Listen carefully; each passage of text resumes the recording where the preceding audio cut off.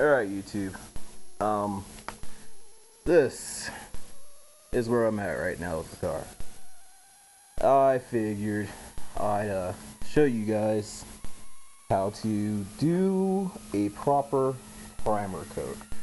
This is really the first time I've ever done a proper primer coat. Any other time, it's just been a quick rattle can. But my camera's not really high def, you're right here, you can see little marks in the coat under there. Try to hold this still, see if it focuses. Nah, it ain't gonna focus. But there's little pits in there. This has only been sitting for about 15 minutes, but you can feel it definitely.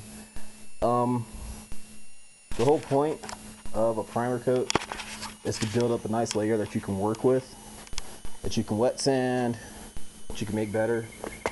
I'm not trying to advertise anything, so I'm not gonna really tell you guys exactly what I'm using let's just say I'm using something with an oleum on it and it works on rust. But in short when you're doing a primer coat first put out your cigarette. You don't want that starting fire or causing an explosion. I seriously doubt it would. But what I found to work with this particular oleum brand is that taking nice long sweeps. And I hate to say that uh, slow and steady wins the race but in this case it seems like slow and steady wins the race. Um, the reason why I say that is because it lays down so much better. You know you get a nice thick layer there. Don't be afraid to go back over what you just sprayed. You know just take your time. And the whole goal of this is to um, put up a workable layer of paint. That's pretty much it. You know, a workable layer that you can uh, sand to your heart's desire to get the finish that you want. But for me, I'm not really going for showroom finish. I'm going for painted engine bay finish. So I don't have to really struggle too hard to get those little pits and stuff out of there. You know, wet sand it, get it mostly smooth to where you don't see that shit in paint and that's it. So I mean, just long, long, steady sweeps. Uh, move it at a constant pace so you don't get uh, big layers. My overlap is literally like probably the better part of 70%. And it's just because I want a nice thick coat to work with. I get it around the edges, like edges like that, you know? And I just kind of like feather the edges Get them nice and wet. Don't let them run. Yeah. Get it wet to where you can tell it's paint on there. You know, go. I go over the same stuff too. You know, I don't worry about. Uh, it's not a gun, so I mean, I don't have to worry about clogging it up. You know, so I mean, and this nozzle, it's pretty decent. You can't really see it, but that nozzle's pretty decent. So, you know, I don't use a pen to clean it out. I just go up to a piece of cardboard, spray on it, make sure it's clear, uh, and then I start painting. And it's coming out pretty good, as you guys can see. You know, I didn't mask off the car because I'm gonna end up wet sanding this. I could already feel the OCD coming on right now. I'm gonna end up redoing the black trim, you know, just making it overall a slightly better paint job than what it is because, you know, it, it needs to be gone completely over and completely resprayed. Like what I'm not doing is spraying over here, the body kit, because that shit's gonna be hard to sand. Like it's gonna be really easy to remove uh, material off of something like that.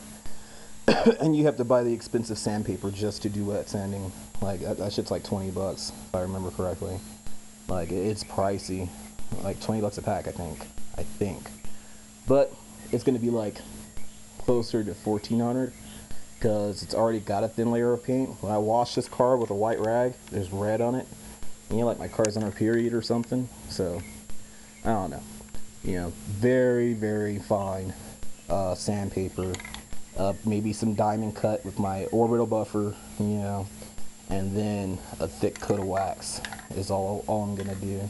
I'm not going to try to make this look pro um, for the paint until I could get all of the dents out get all of the freaking shit like this filled, that's yellow. That's not the camera doing that. It's yellowed from just years of being brushed against.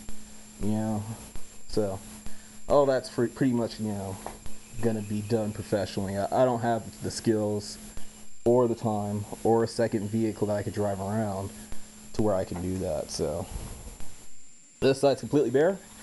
This is how it looked like before primer. Kind of see a little bit of red and stuff on there. So it looks like after primer.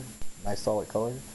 So that's pretty much it. You know, and don't be afraid to use a lot of primer. The whole point of primer is to build up layers of it so you can wet sand it down. That's the whole point. Like I wet sanded it before I primed it. That's what that thing is over here with some uh, 220. That's why it's red. I wet sanded it, uh, and then I just freaking um, you know, scrubbed it with a little scrubber, a nice stiff brush, stiff bristle scrubber, and then you know I uh, washed her down. You know, with this thing. It's actually meant for pesticides, but uh, you know, I just used it for um, scrub for rinsing everything down, and I wiped it dry with paper towels, and she's she's doing really good. So, you know, I'm, I'm very pleased with uh, this oleum product.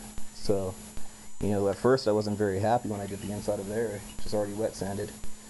But uh, you know what? It's coming out pretty good. But that's the update for the Outlaw Star.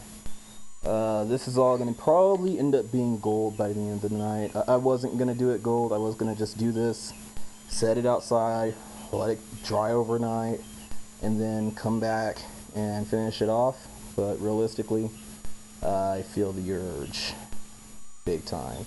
You know, what I should do is wait until, you know what? I'm going to force myself to wait until tomorrow because I still have to do the inside of the engine bay. And I still have to remove all that crap from the inside the engine bay too. You know, and I still have to scrub up that other side.